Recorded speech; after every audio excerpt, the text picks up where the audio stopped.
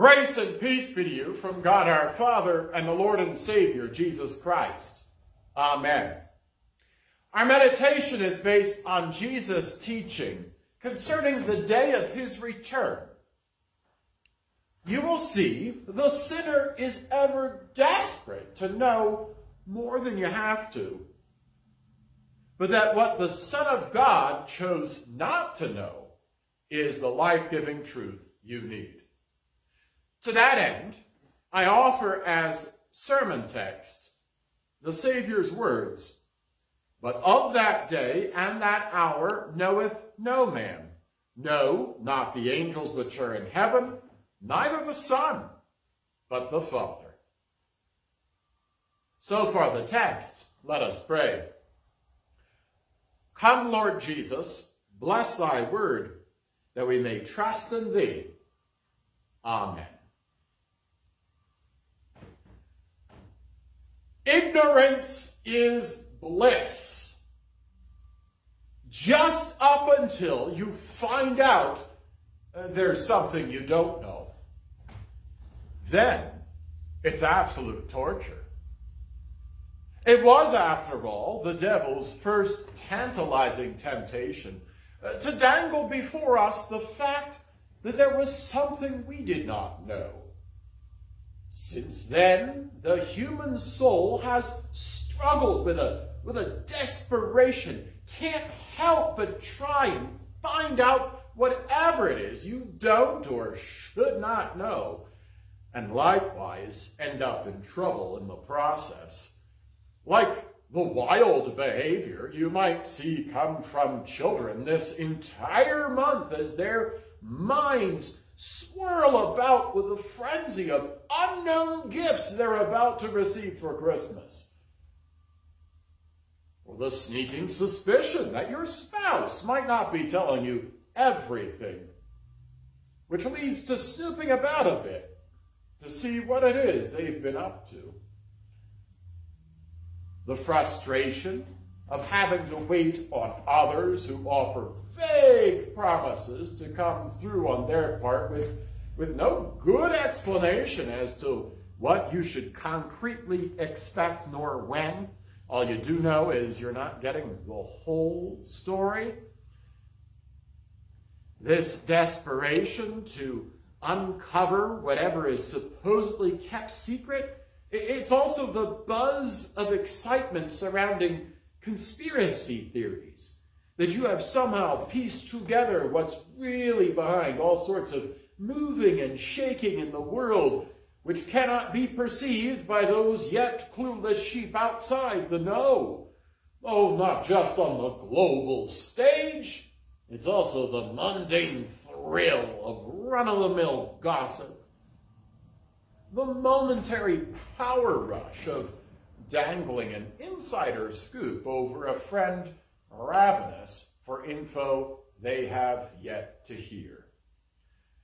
In our gospel lesson today, Jesus' disciples are filled with such a frenzy of curiosity when Jesus informs them that the temple of Jerusalem is soon to collapse, that in fact all things of this world are temporary, this little bit of info, like a drop of blood in a shark tank, leads a few of his disciples to come unto him privately for the insider scoop. Uh, tell us, when shall these things be? And what shall be the sign of thy coming and of the end of the world? Jesus has been teaching out in the open for a good three years now, kept not one detail hidden of anything there was to be revealed. Yet these disciples are eager to learn more, as if Jesus is full of secrets. Uh, no, really, you, you can trust us. When, when's it going to happen? But just like any information you happen not to have, even of the final day, Jesus teaches that however tempting it is to think you'd like to know every juicy detail, it is best not to know any more than what is open and public for all to hear. Each of Jesus's responses to, to their curiosity and suspicion, absolute torture to the ears of any good gossip hunter. He says, Take heed that ye be not deceived. In other words, stick only to what you can know for certain. Go not forth. Don't go down that trail. And believe it not. No matter how adamantly another sinner demands their spiritual gossip is gospel truth, treat it as if you'd never heard it in the first place. And then, the absolute most annoying words to hear when you're digging for a big scoop no man knoweth, no, not the angels, neither the Son. How aggravating it must have been to hear, I don't even know. He has to be lying. Except now, they're the ones telling tales about the Son of God. The sinner's relentless search for just a little extra info is an itch never fully scratched. Why, it's terrifying to stop and ponder just how much of our day-to-day conversational knowledge base is made up of guesses at best revealing the true irony of our desperate search for more, that it's our fear of being left in the dark, which is the root cause, the main driver of our collective darkness. All the stories you hear or make up in your own mind about the world, those in your life, even about yourself, no matter how adamantly you demand they are true, if they are not in the Bible, there is no way they can be untainted by sin. Which means on our own, you and I are incapable of operating in 100% reality. Now, this kind of ignorance, this should truly be torturous. Which is why the only thing you truly need to know is what the Son of God came to give. Which means beginning with pondering how Jesus, so different from you and me, begins by pondering his complete contentment. Jesus' bliss with ignorance, with not knowing a thing. No one knows, not even me. How could this be? The Apostle John calls Jesus the true light, which lighteth every man that cometh into the world. The omniscient, all-knowing God become man. And all this great I am has to offer is a big I don't know. This is the mystery, the incomprehensible love of Jesus' humility. That the Son of God set his divine authority and power to the side in order to come and live a life just like yours. From childhood on, Jesus explored and discovered, learning as he went, ever content with each bit of info, receiving it sufficient as is. Jesus asked questions of those he spent time with, genuinely discovering both the sorrows and joys of each soul he encountered. and he took people at their word, forgiving repentant sinners without a second thought.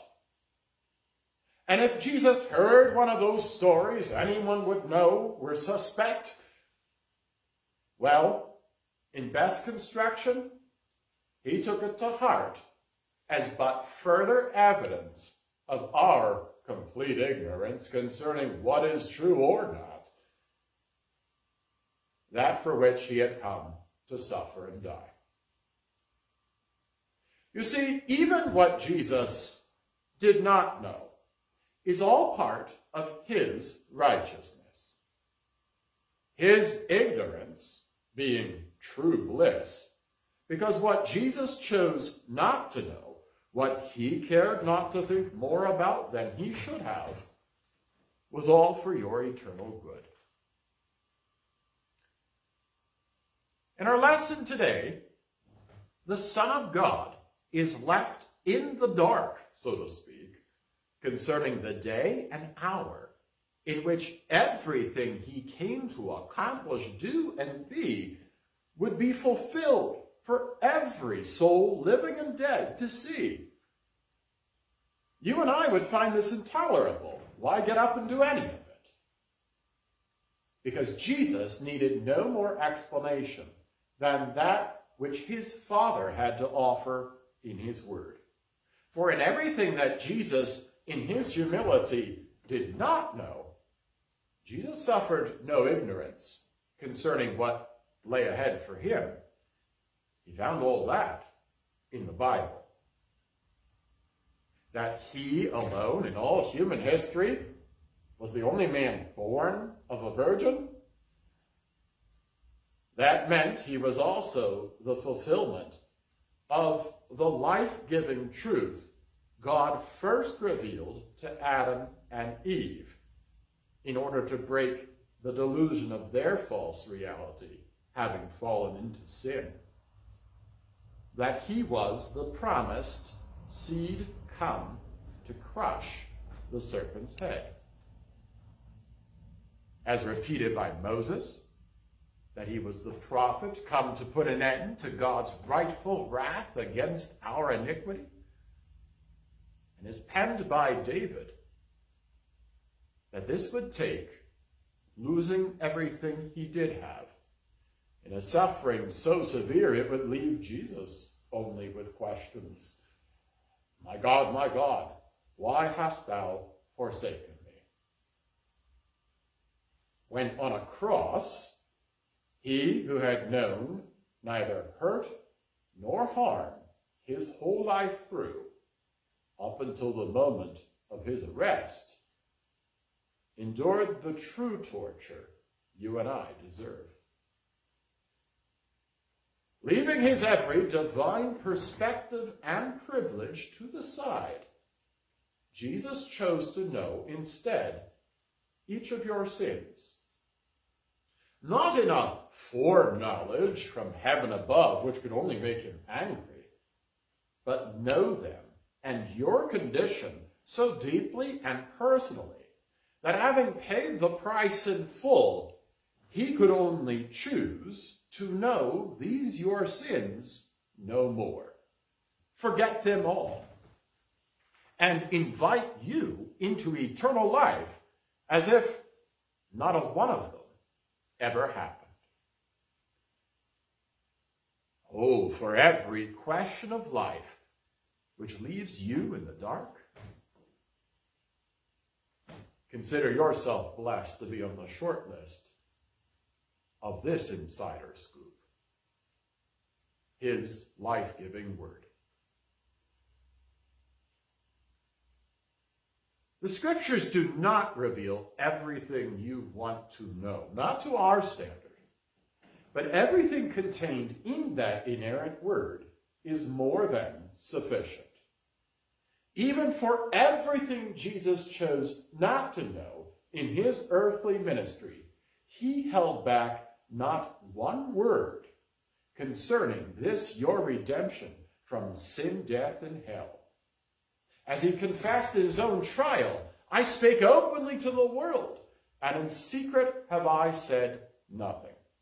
meaning everything recorded by the prophets and the apostles concerning our spiritual darkness and the forgiveness found in his blessed name is everything you need to carry you through this life into the next.